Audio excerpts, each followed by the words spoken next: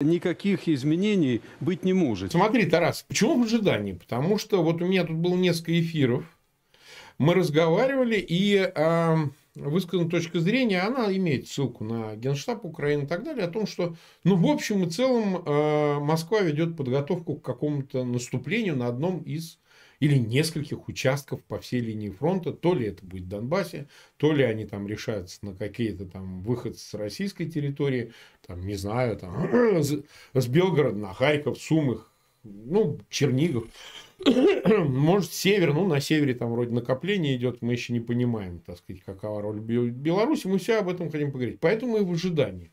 Потому что Россия смогла подготовить какую-то часть мобилизованных, собирается их использовать использовать для кампании наступления. Мало того, сейчас э, известно, что очень непростая ситуация под Солидаром, да и под Бахмутом она не лучше. И такое складывается впечатление, что, ну, особенно под Солидаром, где бросили этих ЧВК «Вагнер», а, значит, военнослужащих и просто какие-то невероятные количество потерь, во всяком случае, мы можем судить с российской стороны, там, начиная от Макеевки, то, что там произошло, и кончая, собственно говоря, то, что до нас доходит, то, что мы можем видеть, ну, и не только из украинских источников, они вот бля, поставили себе задачу вот взять зачем-то этот Солидар и Бахмут. Вот люди со стороны не до конца понимают, что вам это даст. Это два населенных пункта. Ну, хорошо, взяли они Солидар.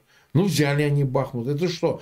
То есть, э, многие пытаются понять, а зачем тысячи-тысячи мобилизованных и и всех остальных класть за этот несчастный Солидар Бахмут? Ну, допустим, они взяли. Вот я помню, как это складывалось под Северодонецком или Сичанском. Вот если возьмут Северодонецк, все, конец Украине, Украина закрывается на замок, все, она теперь наша, и, значит, Путин на Крещатике танцует низкий карковяк. Приблизительно вот так это все звучало. После этого в сентябре они теряют значительную часть Харьковской области, потом Херсон и так далее. И это выглядит как первая победа во многом. Зачем, на твой взгляд, вот это вот все? Зачем им Солидар? Зачем им Бахмут? Вот в такой степени и такой ценой. Вот так я бы сказал. Ну, это первая победа была у Пира, у царя, а у Путина она скорее О, да. будет хер. Вот, поэтому смысл взять Бахмут и Солидар на самом деле Э, никакого практического смысла это не имеет, кроме того, что это может быть личной войной, личным достижением для Евгения Пригожина, который ага. должен в очередной раз показать, что российская армия не шмогла, а он со своими наемниками э, смог. Ага, вот и так. Это его личная персональная война, и поэтому с таким упорством и с таким фанатизмом она ведется. Действительно, сейчас э, они, скажем так, изменили акцент. Если до этого в э, основной их целью операции был Бахмут, то сегодня выглядит так, что они поменяли сегодня цели этой операции. И Потому они что будут... они не могут взять Бахмут, или просто это изгиб какой-то, какой-то фокус самого маневра Нет. Пригожина? Могут. Ты понимаешь, просто получилось так, что здесь все, все звезды сошлись против э, Путина, э, Пригожина и Шойгу. То есть Бахмут э, крайне сложный город для э, любой штурмующей э, армии. Во-первых, он находится за рекой. Во-вторых, там огромное количество болот, лесопосадок э, вокруг ага. него. И и огромное количество, скажем так, различных точек господствующих, с которых ЗСУ имеет возможность не только видеть передвижение, но и координировать удары артиллерии. Они поменяли сейчас тактику, надо сказать, что если раньше они атаковали, атаковали большими группами, использовали, э, скажем так, в среднем по взвод шли где-то порядка 30-40 человек. Сейчас они поменяли тактику. Это усложняет работу нашей артиллерии существенно. Они атакуют сегодня группами по 4, по 8, максимум по 15 человек. При этом, если они идут группами по 8, каждый из них несет РПГ, э, шмель обязательно э, и стрелковое оружие, максимум БК. А ну, РПГ тради... это гранатомет, там тут у нас не все. Да, да, э, да. Ну, различных систем. Вот. Но вот новшество это они еще используют. Каждый из восьми несет еще по шмелю. И максимальное количество БК. И в принципе традиционное для ЧВК Вагнера они воюют без э, бронежилетов. То есть они воюют вообще. А вот смотри, вот для ЧВК они воюют без бронежилетов. У них нет бронежилетов или на них не тратят бронежилеты? Это почему? Объясняется. Вот скажи по ходу. Нет, это чисто с профессиональной точки зрения, так воюют профессионалы. Это для скорости передвижения. И для это того, очевидно, чтобы... он тяжелый бронежилет, я носил, я знаю, что это такое. Чтобы взять больше БК, потому что, ну, как бы, смотри, там, легкий броник, он весит где-то килограммов 8, а такой Да, нормальный э. американский это 15 килограммов. Плюс Да. каска, да? То есть вместо того, чтобы все это тащить, они несут на себе быка. Так это и так есть, этого добиваться не нужно. Украина поднялась на 7 строчек в рейтинге сильнейших армий мира. Ну что, паника, вопли, как же это так? А, Более того, об этом сообщает российское агентство РИА Новости, то есть государственное агентство. То есть даже этим пинают Владимира Путина. Могли бы просто не заметить, а нет, все показывают. То есть это лишний раз говорит о том, что все источники информации в России открыты и известны и понятны. И, блин, а хотели же они провести демилитаризацию Украины. Как-то демилитаризация проходит очень странно.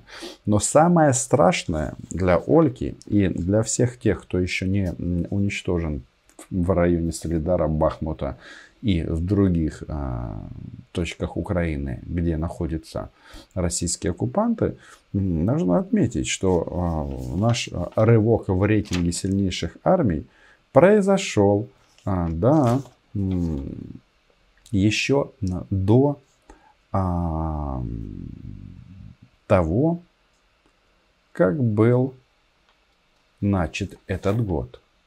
А этот год очень и очень э, занимателен. Ну, понятно. Мы настолько впечатлили наших союзников поздравлением российских оккупантов с Новым годом и уничтожением в Макеевке нескольких сотен парней из Самары. Самара. Ну що, скуштували української земельки, падли, да? А, да. И а, решили а, кратно усилить украинскую армию. И если а, мы узнали а, только недавно о том, что 20 января будет проведен новый Рамштайн, а это, на секундочку, встреча десятков министров обороны а, стран антироссийской коалиции, которые сбрасываются в Украине оружием, боеприпасами, а, деньгами для того, чтобы защитить демократию. И да, это вот как раз та история, а, тот случай, когда тут нет никакой иронии. Это не защита демократии а, в Ираке, когда защищали демократию, а нашли нефть. У нас известно, что нефти как таковой нет. Тут э, просто а, в самом прямом смысле этого слова а, защита от возрождающего, возрождающегося нацизма. И этот год он прекрасен тем, что такие гигантские а, вклады объявлены и реализуются в а, украинскую армию, что такого, конечно же, не было. То есть речь идет, понятно, о тяжелом вооружении.